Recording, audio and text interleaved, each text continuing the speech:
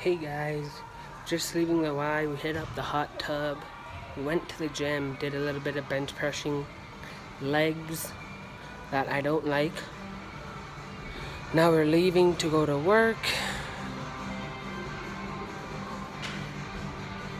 My work to get work done. Do I want to go to work? No. But I only have one more day of work. Then Friday I have off to go to the bush to go hunting with Andrew. And we're gonna do that, sleep out there for two days.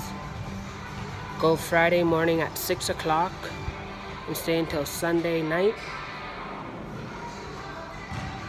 And yeah, and have fun, have biscuits and gravy.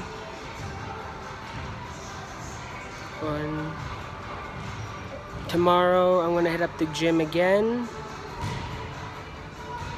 Do arms, reading a little bit. And that's it. I hope you guys have a great, great day. If you're not subscribed, hit the subscribe button down below. Hit the notification bell, then you get notified. And hope you have a great day. Peace.